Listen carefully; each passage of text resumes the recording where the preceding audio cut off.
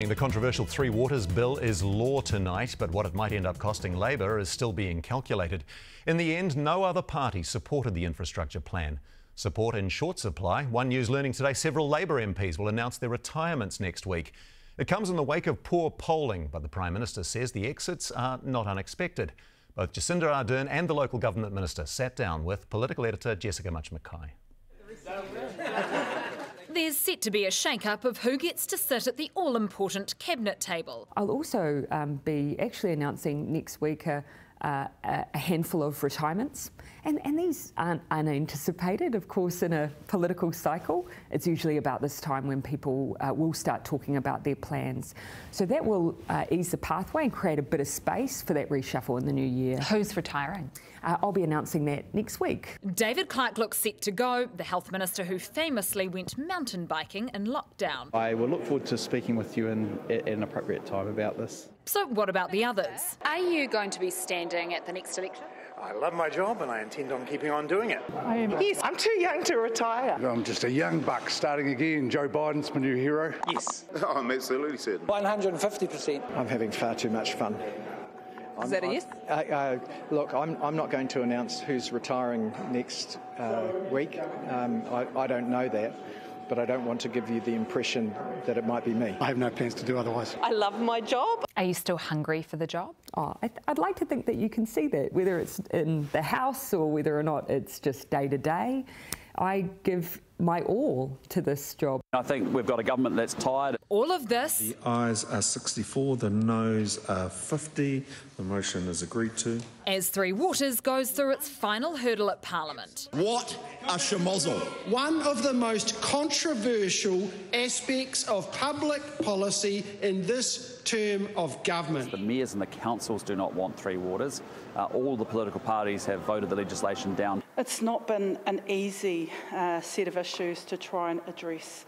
Um, I think a lot of people would have thought, look, stop it, just regulating um, drinking water, that's enough.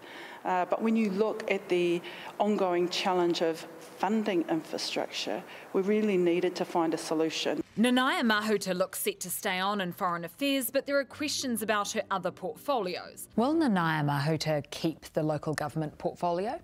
Oh, look, I haven't uh, uh, sat down and started working through uh, the reshuffle. Three Waters is set to be part of her legacy. I said it's a good thing because we want to assure our children and their children that they will have safe drinking water. Now it's passed, the government's very keen for the issue to go away.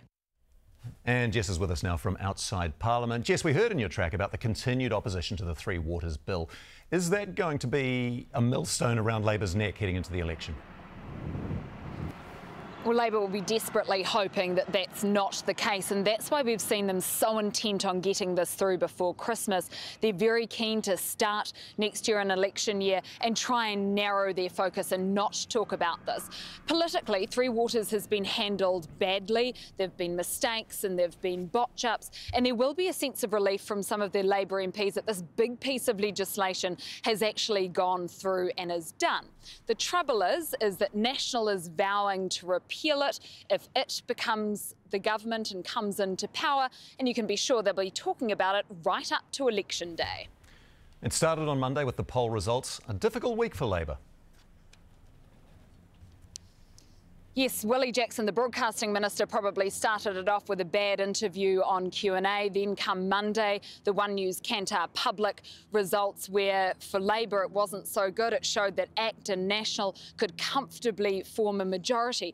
And what a poll like that does is really make some of the Labour MPs start thinking about their future and whether they can really stomach the idea of the possibility or potential of going into the opposition benches. Now, Parliament is set to finish here next week, but there's still a lot of legislation to get through. One MP described to me today that some people in this place are doing a commando crawl to Christmas. Kia ora, Jess. Te Whanganui-a-Tara in Wellington. Jessica Mutch McKay.